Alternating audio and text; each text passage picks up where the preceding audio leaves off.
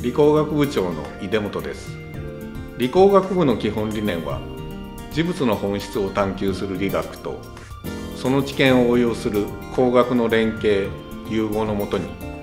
教育研究を展開し新たな科学技術を創造することです。理工学部は2017年に創立50周年を迎えます。そこで理工学部50周年プロジェクトとして今後の50年の在り方を示すレゾナンス自然環境宇宙そして人共に響き合う理工学部へをキャッチフレーズに掲げて学科専攻を超えた多様性に富んだ先端的応用基礎研究を推進していきます。今後の50年の研究に向けたコンセプトとして理科大の野田から、えー、世界の野田へ NODA を掲げ教育人材育成に向けたコンセプトとして自ら発見し自ら解決できる問題発見力と問題解決力を掲げています、えー、理工学部改革を達成するための学科の中長期計画と今後の50年に向けたビジョンを策定しこれを理工学部創設50周年プロジェクトとして広く社会に公表していきます。これらを作成するにあたっては広く OB、OG の意見を求めています。このプロジェクトを契機に学部、学科、研究室および OB、OG との共同体制も含めた今後に向けた体制づくりを構築していくことを考えています。具体的には50周年を迎えるにあたって野田キャンパス再構築が始まりキャンパス内の建物の新築改装を含めた整備が行われていきます。また新しい取り組みとして2017年度から2つのコースが開始されます。理学から工学までの10専攻を有する理工学研究科では従来の各専攻において行ってきた学部4年と修士12年の研究教育に加えて学科専攻を超えて横断的にかつ強力に推進する横断型コースを導入します。横断型コースは、えー、専攻をまたいだ、えー、幅広い分野から参加可能なコースで異なった分野からの知識やスキルを参加する学生に提供することのできるコースです。理工学部創設50周年にあたって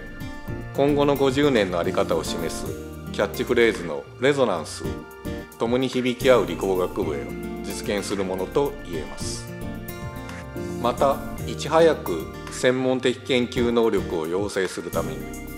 学部1年から3年と学部4年修士12年を連結した3年プラス3年教育の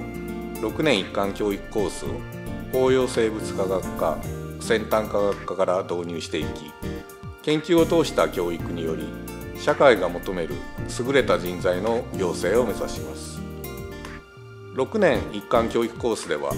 学部1年から3年までは学科で基礎力を養い学部4年から大学院では研究室による個別指導と研究室や専攻の枠を超えた集団指導の2本立ての指導体制により将来的には、えー、10学科の多様性を生かした教育研究を推進していきます。え今後のビジョンとしてはさまざまな分野を網羅展開している。理工学部10学科の特色を生かした4つの教育研究グループ。それらを総合するシステムデザインに分けそれぞれのグループがお互いに重なり合い横断的で学際的な展開ができる組織にします。そして各グループは自然との共生環境宇宙人の4つの分野を目指します。また人格形成理系教養を支える教養教育も併せて行います。また先端研究拠点であるリサーチパーク型キャンパスとして野田キャンパスの構築をするため野田キャンパスにある研究所研究センター総合研究院薬学部さらに、えー、国や企業の研究機関が集まる筑波学園都市と都心との中間にある地の利を生かした外部機関との連携も含めて特色ある研究拠点としての地位を確立することを目指しますえ学部を縦割り組織から学科専攻の壁を取り払い研究室の垣根を低くして学際的な横断的な教育研究を推進する組織に展開していくことを考えています。